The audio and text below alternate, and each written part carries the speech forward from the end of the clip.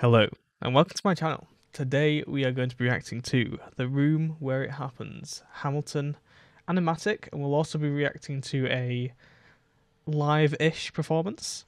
Now, as usual with Act 2, I'm finding it really difficult to find the live performance on YouTube. Um, so I'm kind of trying to find other videos that kind of substitute it in a little bit. Um, so for this one, we'll react to the animatic first, and then we've also got a live performance by the cast of Hamilton that was done, I believe, for Joe Biden, um, recently ish, um, which will be fun to react to as well. So yeah, let's just jump right into it. So here we go. Five minutes, eighteen seconds, and we're off. Ah, Mr. Secretary. Mr. Burr, sir. And did you hear the news about good old General Mercer? Love No. the You beats know so. Clermont Street? Yeah, They renamed it after him. The Mercer legacy is secure. sure. And all he had to do was die. Yeah, that's a lot less work. We ought to give it a try. now, how you gonna get your debt plan through? I guess I'm gonna finally have to listen to you. Really? Talk less, smile more, do whatever it takes to get my plan on the Congress floor. Now, Madison and Jefferson are merciless. Well, hate the sin, love the sinner. Hamilton. I'm sorry, Burr, I gotta go. But Decisions are happening over dinner. Ooh, two Savage. Virginians and an immigrant walk into a room diametrically opposed foes. They emerge with a compromise, having opened doors that were previously closed. Bros. The immigrant emerges with unprecedented financial power, a system he can shape however he wants. The Virginians emerge with the nation's capital. And here's the pièce de resistance. No one else was in the room where it happened, the room where it happened, the room where it happened. No one else was in the room where it happened, the room where it happened,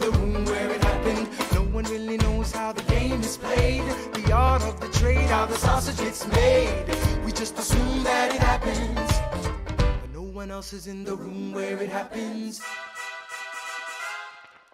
Thomas claims. Alexander was on Washington's doorstep one day in distress and disarray. Thomas claims. Alexander said, I've nowhere else to turn. and basically begged me to join the fray. Thomas claims. I approached Madison and said, I know you hate him, but let's hear what he has to say. Thomas claims. Well, I arranged the meeting. I arranged the menu, the venue, the seating. But no one else was in the room where it happened, the room where it happened, the room where it happened. No one else was in the room where it happened, the room where it happened, the room where it happened. No one really knows how the party's yes. The pieces that are sacrificed in every game of chess. We just assume that it happens, but no one else is in the room where it happens. Meanwhile, Madison is grappling with the fact that not every issue can be settled by committee. Meanwhile, Congress is fighting over where to put the capital. It isn't pretty. Then Jefferson approaches with a dinner and invite, and Madison responds with Virginian insight. Maybe we can solve one problem with another and win a victory for the Southerners. In other words, Ho ho. a quid pro quo. I suppose. Wouldn't you like to work a little closer to home? Actually, I would. Well, I propose the Potomac. And you'll provide him his votes. Well, we'll see how it goes. let's go. No. one else was in the My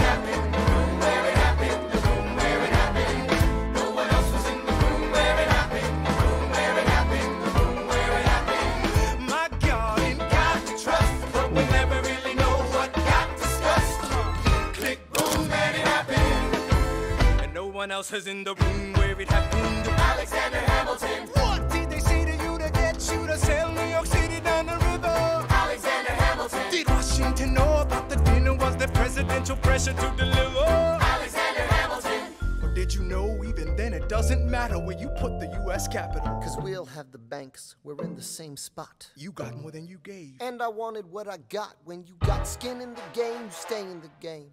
But you don't get a win unless you play in the game. Oh, you get love for it, you get hate for it, you get nothing if you wait for it, wait for it, wait.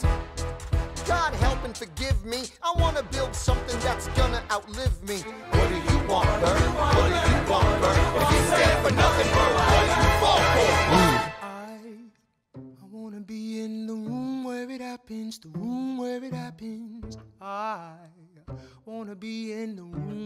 happens. The room where it happens, it. I wanna be in the room where it happens.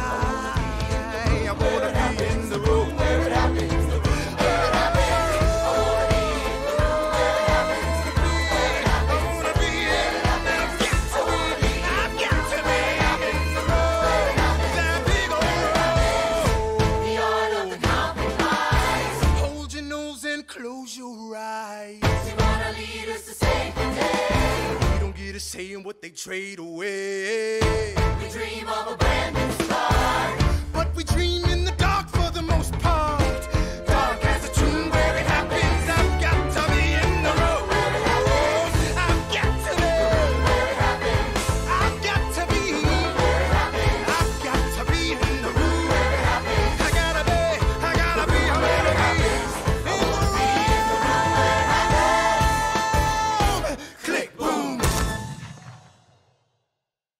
my god, I love that one. That was so good.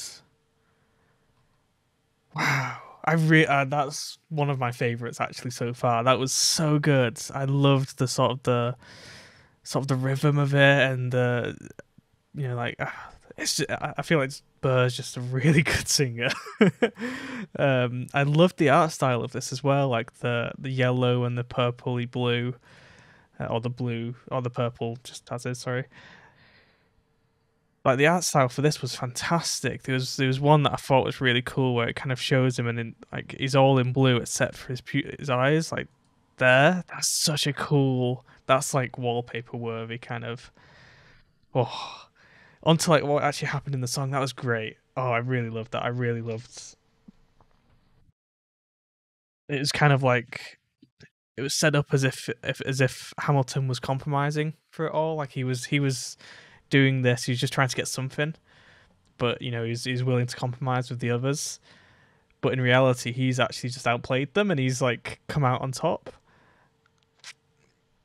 That was really good. You kind of saw Hamilton's what's the word for it? Not dastardly, but Hamilton's like scheming side of things come out there, which is really interesting. Um, I really loved that this was from the perspective of Burr as well. So like you see him in the window, like sort of spying on them, like oh my god, what's he doing? Um, and then at the end, it kind of comes out that what he really wants, he just wants to be in that room. He wants to be one of the people that is important enough to have been in that room. But just everywhere he goes, he's always hitting another door, and he's never quite getting there. That's really good. I really liked that. Um, and that animatic was great as well. Right, let's move on to this this live one. So I'll put it back to the beginning. Uh, I believe this is it's probably a bit outdated now. Um, this was uh, during the voting in America. Um, I'll play it from the beginning just for those people that are interested. Um, but the actual it looks like it starts. It starts pretty quickly. Actually, it starts like 20 seconds in. So for those that aren't particularly interested, Show up and vote. You will determine the outcome of this election. Vote, vote, vote.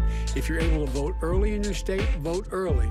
If you're able to vote in person, vote in person. Vote whatever way is the best way for you. Just make sure you understand you have it in your control to determine what this country is going to look like the next four years. just before that moves on, that's a very timeless thing to say. You know, it's it's whenever you have the option to vote, vote because it's you know it's so important for the the country. You might feel like your vote doesn't matter, but in the grand scheme of things, if everyone who thought their vote didn't matter actually voted, then it would might it'd be a completely different world. Let's go into it. This Two Virginians and an immigrant walk into a room diametrically opposed foes. They emerge with a compromise, having opened doors that were previously closed. Bros. the immigrant emerges with unprecedented financial power, The a system he can shape however he wants. The Virginians emerge with the nation's capital, and here's the pièce de resistance. No one else was in the room where it happened, the room where it happened, the room where it happened. No one else was in the room where it happened, the room where it happened, the room where it happened. No one really how the game is played, the art of the trade, how the sausage gets made. We just assume that it happens, but no one else is in the room where it happens. Time Thomas claims. Alexander was on Washington's doorstep one day in distress and disarray. I love that guy. Alexander said, I've nowhere else to turn. and basically begged me to join the fray. I approached Madison and said, I know you hate him, but let's hear what he has to say. I arranged the meeting.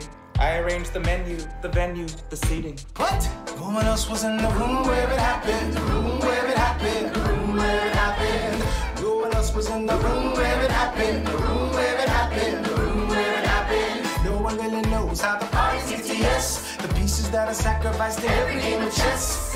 We just assume that it happens. But no one else is in the room where it happens. Meanwhile, Madison is grappling with the fact that not every issue can be settled by committee. Meanwhile, Congress is fighting over where to put the capital. It isn't pretty. Jefferson approaches with a dinner and invite. Madison responds with Virginia and insight. Maybe we can solve one problem with another and win a victory for the Southerners. In other oh, words, ho. a quid pro quo. I suppose. He a great Wouldn't voice. you like to work a little closer to home? Actually, I would. well, I propose the Potomac. And you'll provide him his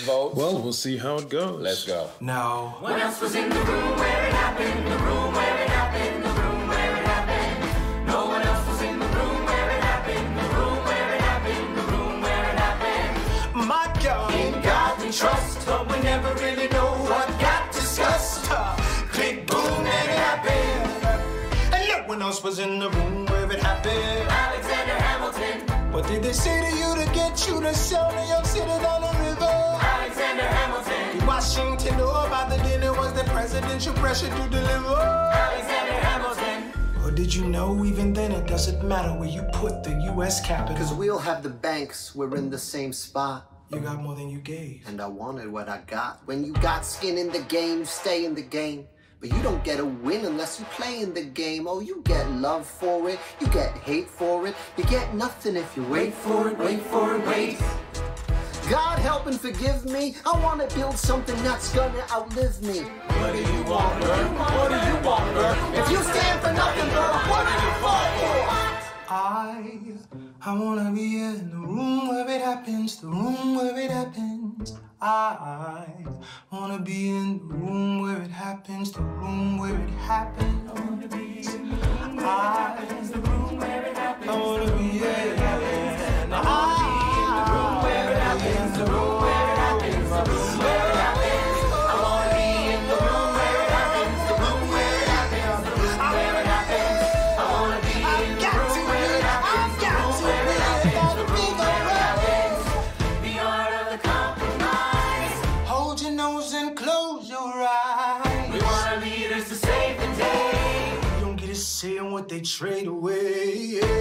dream of a brand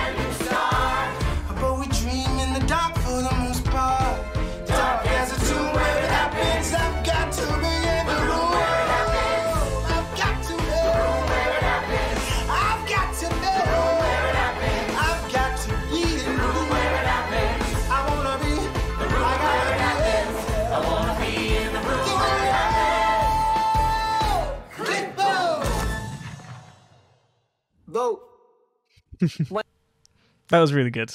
Again, I, oh, I love that song. Like I said, I think that's one of my favorite songs out of them all. I don't think it's my favorite song because some of them in the first act are just so good and so timeless and just so they're so easy to just like get stuck in your head and sing along to. And I think this is one of them as well.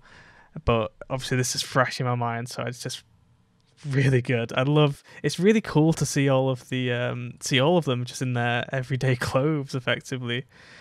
Um, he just looks really cool. That's a really interesting style, which is just really cool. But yeah, no, I love the I love the the crown. Um, yeah, I didn't realize I didn't actually expect it to have that much in terms of um, you know, like real life uh, voting kind of videos. So if that bothered you, I'm, I'm very sorry. But um, beyond that, the actual video, I think it's really cool to see everyone kind of everyone's at home, aren't they? Just like singing along. This would have been like right in the middle of the the pandemic, so that's really cool, and it's come together really well. Whichever way they do it, it's just really well. Lin's camera is insane. Look at how like clean that is. That's ridiculous. And you kind of see here, just the way you start singing to the camera, you can kind of feel that sort of scheming side of it. Really well done. Um, yeah, that was really good. I really enjoyed that. I'm really glad that I'm back to all this. Um, but yeah, oh, that was what I was to ask. Obviously, this is about part of this vote. They um they moved the capital, or they did they move? Was there already a capital that was then moved, or was this the first time they had like designated a cap, uh, cap capital? Um, if it's like if it was like if it was moved and it you know there was already a capital and then they've moved it, is that something that could like realistically happen today? I'm really curious to see if like the logistics of that. I assume not. I assume it's basically just like set in stone now. There's a, you can't really move the capital because you'd have to move a bunch of. I don't even know what defines something as the capital of than the label. Um, obviously, there's a capital building and things like that. But um, yeah, let me know. I'm really interested to find out if one was there a capital before, or was this the first time there was a capital? And also, would it be actually realistic to move the capital today? Like, if there was a vote that said we want to move the capital, do you reckon that would actually ever happen? Is is it possible? Is there something more than just the label of the capital that means that it has to stay there now because of so much infrastructure is built around it? I'm really interested to find that out. Um, anyway, yeah, let me know if there's anything I missed or anything that you, you think I might have not have like picked up on the song. Um, because I know these have like so many layers and so many kind of references and things like that. Um, obviously, it references back to some older songs, which are really cool as well. But um, yeah, I'm going to end it there. I hope you enjoyed, and I will see you in the next video. Goodbye.